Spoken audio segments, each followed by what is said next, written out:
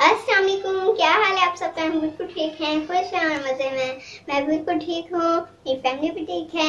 मैं हूँ फातिमा दुआ, आज के न्यू ब्लॉग के साथ। आपकी खिदमत में हाजिर हूँ। आज मैं बनाने जा रही हूँ मिल्क शेक बनाना। बहुत ही आसान है, बहुत ही मज़े का बनता है। यहाँ पर मैंने लिया है खजूर। खजूर का सीज़न आया हुआ है तो मैंने फ्रेश खजूर फ्रेश खजूर लिए है। आप भी फ्रेश खजूर ले सकते हैं। और मैंने शुगर ली है। और मैंने मिल्क लिया है। इन सारी चीज़ों को मैं ग्राइंडर के अंदर डालूँगी।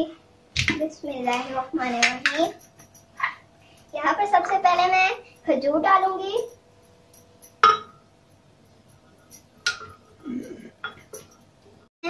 शुगर डालूँगी।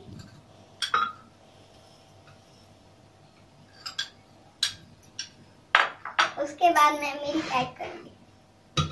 बिस्मिल्लाह।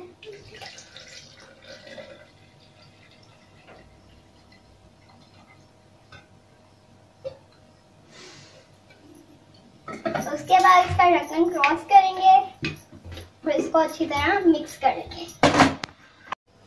फ्रेंड्स अब इसका बटन ऑन करेंगे।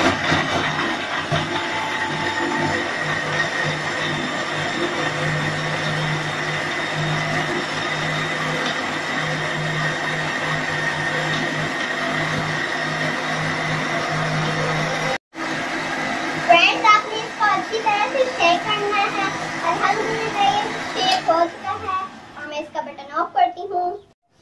फ्रेंड्स ये देखें, मैंने फ्रेश खजूर ली थी और मैंने मेरी ठंडा लिया था। बहुत ही मज़े का बना है, बहुत ही टेस्टी बना है और आइए चलते हैं अब मैं अपने भाइयों को सर्व करती हूँ फ्रेंड्स ये अब मैं अपने ब्रदर्स को देती हूँ ये ब्रदर्स बताएँ कैसा बना है